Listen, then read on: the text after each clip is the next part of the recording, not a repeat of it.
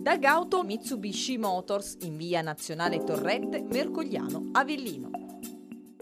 La Slavellino ha spedito a migliaia di utenti delle raccomandate con le quali si chiede il pagamento di prestazioni sanitarie e farmaceutiche usufruite nel 2014. In una nota congiunta a Feder Consumatori, ADOC, Will e CGL Pensionati denunciano che in queste missive viene genericamente comunicato all'utente che in base a presunte verifiche effettuate dal sistema tessera sanitaria la posizione reddituale occupazionale per l'anno 2014 sui redditi dell'anno prima non coincide con quella autocertificata relativa al codice di esenzione e viene pertanto diffidato a pagare le somme contestate entro fine mese. Nel momento in cui l'utente decide di capirne di più, la missione, a quanto sostengono le associazioni dei consumatori, diventa impossibile perché ci si imbatte in una serie di numeri e lettere che alla fine non portano ad alcuna risposta e che si è recato presso il distretto sanitario di competenza per avere maggiori chiarimenti è rimasto comunque deluso perché dopo lunghe attese avrebbe scoperto che l'impiegato dell'ASL ASL si limita a ribadire quanto scritto nella raccomandata.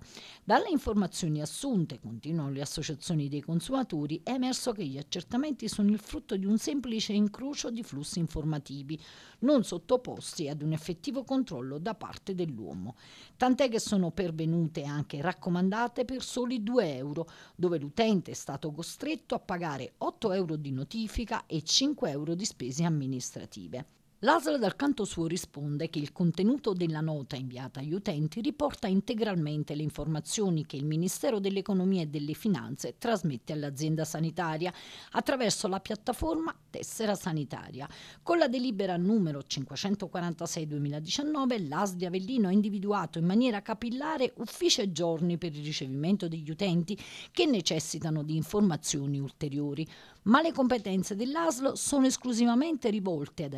aiutare l'utente nella comprensione della nota ricevuta. L'individuazione dei motivi di contestazione restano di competenza esclusiva del Ministero dell'Economia e delle Finanze attraverso i suoi strumenti di accertamento fiscale.